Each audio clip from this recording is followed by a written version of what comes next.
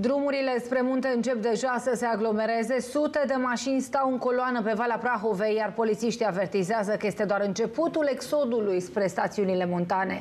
Ne spune mai multe Daria State, subcomisar la Centrul Infotrafic al Poliției Române, este în direct alături de noi. Vă mulțumesc foarte mult pentru acest lucru. Bună ziua! Bună ziua! Ce date aveți, vă rog? Ne auzim? Da, da, da, vă rog. Ce date aveți? Uh, bun, uh, într-adevăr așa este, valorile de trafic au început să crească pe drumul național 1 Ploiești-Brașov, astfel că în prezent în stațiunea Comarnic, pe sensul de mers uh, către Brașov, este formată o coloană de autovehicule în mișcare de aproximativ un kilometru.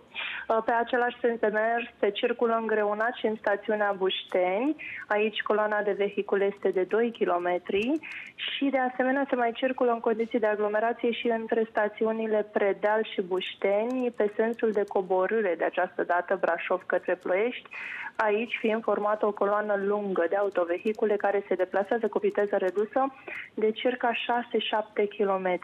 Și, într-adevăr, ne așteptăm ca valorile de trafic să crească în orele următoare, dar mai ales mâine pe sensul de urcare către stațiunile montane. Ce îi sfătuiți pe șofer, doamna State? Le recomandăm uh, șoferilor, în primul rând, să acorde atenție tuturor manevrelor pe care le efectuează. De obicei, în condiții de trafic intens, uh, se produc multe accidente din cauza neatenției. Să păstreze o distanță corespunzătoare față de vehiculul din față, care să le permită să frâneze în condiții de siguranță.